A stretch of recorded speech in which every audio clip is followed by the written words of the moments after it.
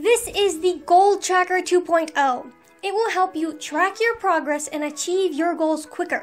This goal tracker is available in both Excel and Google Sheets. First, enter your goal. Next, add more details. It's really important for you to add details and be specific when setting your goal. Next, define how you will know when you achieved your goal. There will always be room to improve. So don't leave your goal open ended. I will know I built a successful productivity blog when I have 1,000 or more email subscribers. Next, set your starting point. What date are you starting on? Are you starting from the bottom or have you already made progress towards your goal?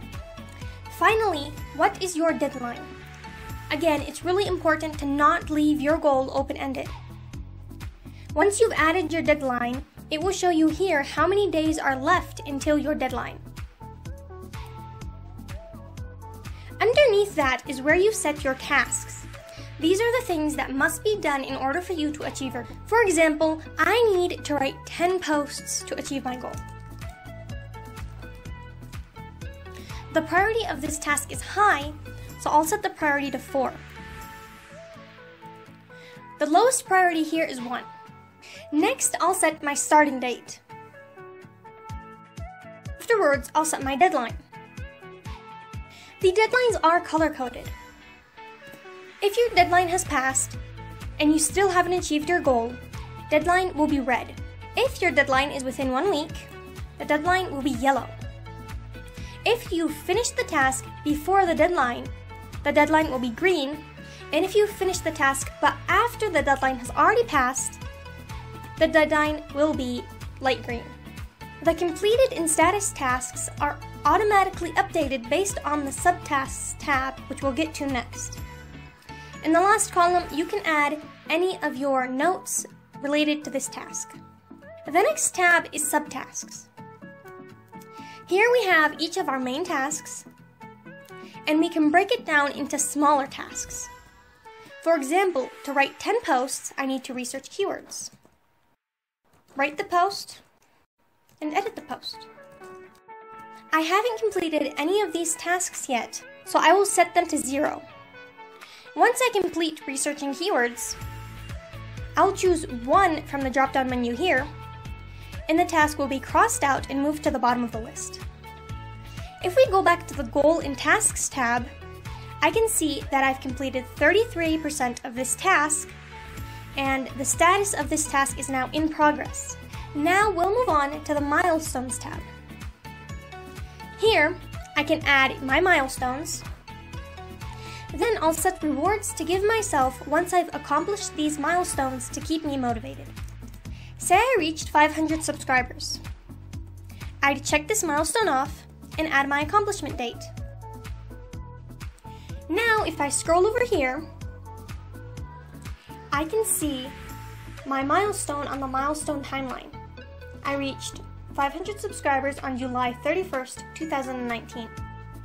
Next is the progress tracker.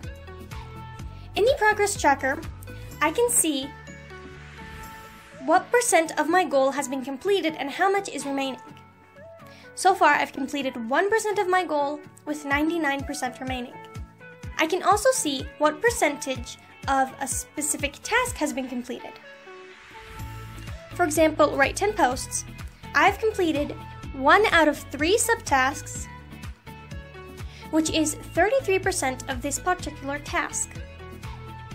Next, I can see my task duration in days. The Write 10 Posts task will take me 13 days based on my start date and deadline. The next chart is the Climb the Mountain chart. My tasks are represented by these blue dots at the bottom. As I make progress, these blue dots will climb to the top. I've completed 33% of the Write 10 Posts task, so this blue dot has moved 33% upwards. If I were to complete this task and update the chart, you can see that the blue dot reached the surface. The last tab is the Quotes tab. Here you can add more quotes to be presented at the top of the Goal and Tasks tab here. This is the Google Sheets Goal Tracker 2.0. In order to start using it, you have to hit File, Make a Copy. Now we have our very own Goal Tracker 2.0. It is the exact same as the Excel Goal Tracker, except for a few differences.